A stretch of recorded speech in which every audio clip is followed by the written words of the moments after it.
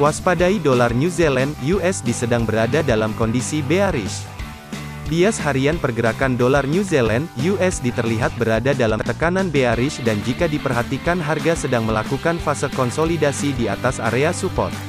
Jika pergerakan dolar New Zealand (USD) bergerak ke atas dan tertahan di sekitar area kritis pada kisaran 0,67812 sampai 0,67927, maka tunggu kemunculan bentuk pola candlestick bearish yang valid dengan memperhatikan juga indikator ADX bergerak ke atas maka ada potensi harga akan menyentuh area 0.67327. Sebaliknya waspadai jika harga dolar New Zealand USD terus bergerak ke atas dan menembus level 0.67927 maka ada potensi harga akan berbalik arah dengan bergerak rebound ke atas menuju level berikutnya pada kisaran 0.68112.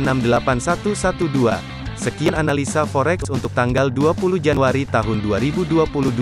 Untuk konsultasi gratis mengenai posisi trading forex Anda, silakan hubungi 081212 983 101.